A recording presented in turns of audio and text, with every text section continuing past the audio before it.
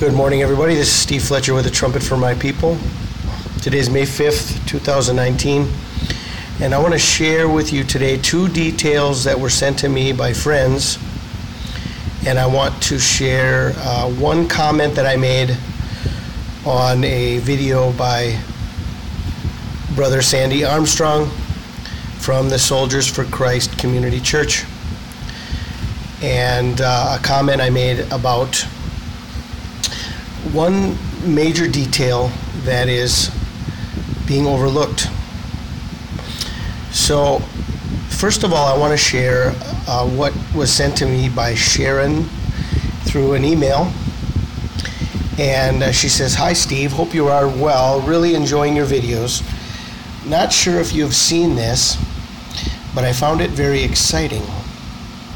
From May 14th, 1948 to May 22nd, 2019, Israel will be 71 years and 8 days.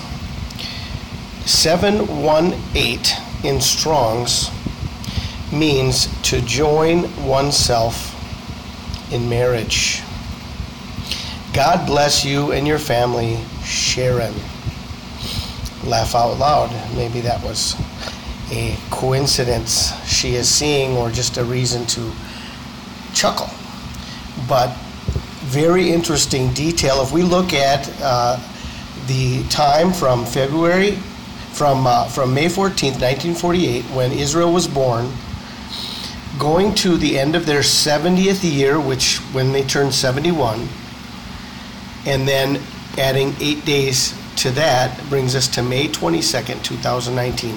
71 years, eight days. And in the Strongs, 718 means harmoso, harmoso, to fit, join, hence, to join oneself in marriage. I fit, join, and I espouse, betroth. I take a wife, give in marriage. 718, 71 years and eight days. The second thing I want to share with you is was also sent to me by email by brother Frank Cock.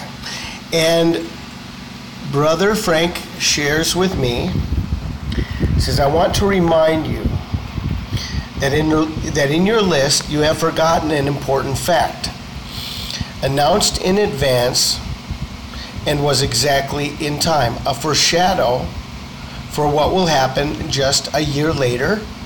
Winter storm Noah has begun on 217. Going to the link he sent to me, which was a video I did last year on February 17th, Winter storm Noah has begun on 217. Remember last year in, in uh, 2018, exactly on February 17th, which was 217, Winter Storm Noah hit. So, first of all, this was a one year warning. Second of all, it's a, it's a one year warning not to the Gregorian calendar, but to the Hebrew calendar. Just as it says in the book of Genesis on the 17th day of the second month. So, this was not something from years and years ago. This was just one year ago exactly on February 17th, Winter Storm Noah. So, what Frank wanted me to see and to remind everyone, and uh, you know, that I had not mentioned this, I had overlooked this, especially now that I'm watching the, uh, the 70th year of Israel as, uh, as the 70th year ends exactly on the timeline of Noah when the ark was closed. And then seven seven days later, bringing us to May 21st and 22nd, the 17th day of the second month. So, what Frank wanted me to remind everybody is that one year ago, we had Winter Storm Noah exactly on 217. So, this is what we are watching. Now, the third thing I wanted to share with you is what I shared with Pastor Sandy. And I'm in no way, uh, you know, criticizing him or uh, or making fun of him. I am just wanting him to see and to, to for his followers to see that um, there is one detail that is being overlooked because he is looking definitely at May 14th as the as the end. There's really no way it can go past May 14th, and I, I just wanted to bring him uh, to his attention what I'm sharing in this comment. And he did receive this comment. He, he heard he heard me and responded. So, uh, you know, it's just a matter of, you know, where we are and what is going to be happening. Anyway, what I shared with him is Pastor Sandy, you are missing a key detail. May 14th is the day the ark closed, Iyar 10, the 10th day of the second month. So if everything is as in the days of Noah, where is the seven day warning? If we are coming to May 14th, where, where do we get a seven day warning? It says, as in the days of Noah, so shall the coming of the Son of Man be. So we should expect a seven day warning just as there was in the days of Noah. The flood begins on Iyar 17, which is on uh, the 2019 Hebrew calendar, is May 21st and 22nd. The fig tree brings us to the days of Noah. Is it all true or just a part? So, what I'm trying to share with him is that it not only says in Matthew that the fig tree generation will, will, uh, will not pass until all these things have happened, but just as it says, as you know, according to the fig tree, it also says, as in the days of Noah. So it's together, we have two prophecies and two clues, two, two events leading us to timing that Jesus mentions. One is the fig tree generation, the other is as in the days of Noah. How can we look at just one and overlook the other?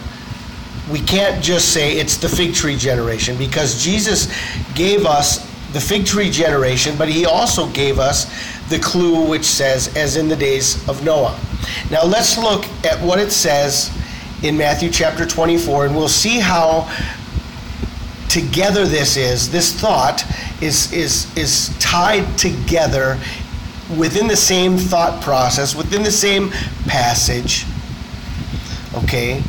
So Matthew 24, starting in verse 3, 33, it says, So likewise ye, when ye shall see all these things, know that it is, it is near, even at the doors. This is talking about the fig tree generation. And it, it says, Verily I say unto you, this generation shall not pass till all these things be fulfilled. Heaven and earth shall pass away, but my words shall not pass away. But of that day and hour knoweth no man, no, not the angels of heaven, but my Father only.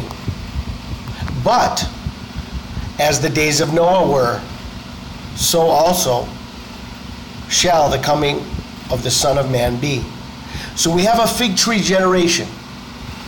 We, we see that the fig tree generation ends at the end of the 70th year when Israel turns 71.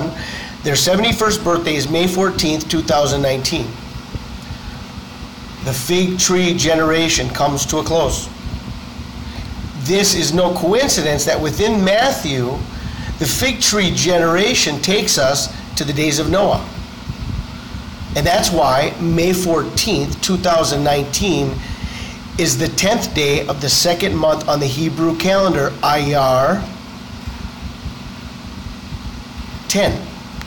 It's the day the ark closed seven days before the flood began on the 17th day of the second month. So the fig tree generation ties us together with the days of Noah, and it gives us our seven day warning to the beginning of the flood. Okay, and this is what I wanted to share with Pastor Sandy, and this is what I wanted to share with his followers and with everybody, the world at large, okay? Because we are upon the end of the fig tree generation, and there are specific details that the Lord has given to us that can help us understand what to be expecting. Okay? So, May 14th is the day the ark closed. I would not expect rapture to happen on this day because this is not the day the flood began, this is the day the ark closed. So I would expect that the ark will be sealed, that this will be the closing of the ark, that everybody should be ready to get in the ark and be in the ark by May 14th, but that the rapture and the start of the Great Tribulation will happen seven days later. The 10th day of the second month is just as it says in Genesis 7 for yet seven days. I will cause it to rain upon the earth 40 days and 40 nights. Okay, so there was a seven day warning from the 10th day of the second month. Goes on to say about the 17th day of the second month that this is the day that the flood began.